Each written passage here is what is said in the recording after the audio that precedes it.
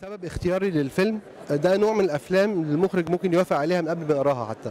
يعني آه، فيلم آه، تأليف أستاذ وحيد حامد فلما يكلمني يقول لي أنا كاتب فيلم فال آه، يعني يكاد أكون وافقت يعني من قبل ما أقرأ لأنه شرف لأي حد إنه يشتغل من سيناريو تأليف وحيد حامد.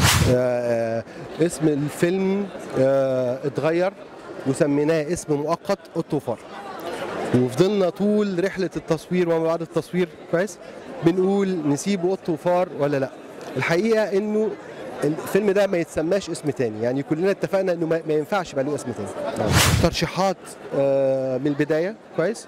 هي اللي حصلت فعلا يعني كان أستاذ محمد فراج من أول لحظة ووافق. آه، أستاذ حميدة من أول لحظة والحمد لله إن هو وافق. فالح يعني ترشيحاتنا اتحققت في الفيلم. آه، أنا عندي مسلسل بعمله لرمضان الجاي بإذن الله. اسمه تحت السيطرة. تأليف آه، أستاذة مريم نعوم إنتاج العدل جروب. بطوله نيلي كريم ظافر عابدين محمد فراج آه، أحمد وفيق نسرين أمين وجاري ترشيح بقية الممثلين. فبنحضر عشان بعد شهر نصور بإذن الله. محمد فراج ممثل يفتح نفس أي مخرج. آه، ممثل مرن ومشته واسعة جدا ممكن يلعب الدور ونقيضه ويقنع الناس.